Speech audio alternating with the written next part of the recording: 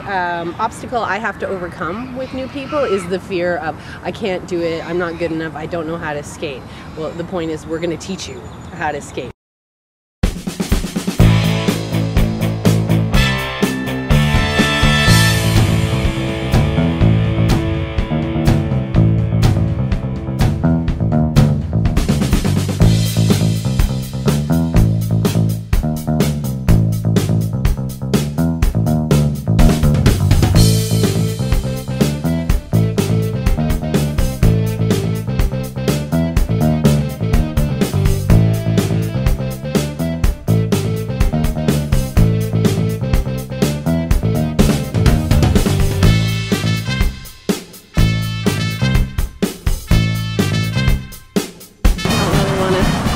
Up our skin today. yeah. Much, yeah. We work on the uh, the single knee fall.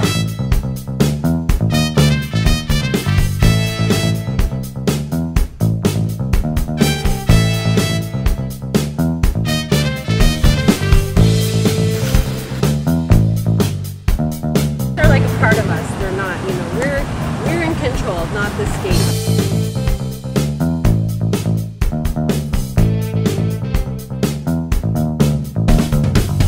We can do a little bit of contact, but it's just very pushing to the outside or pushing to the inside. I think that should cover it.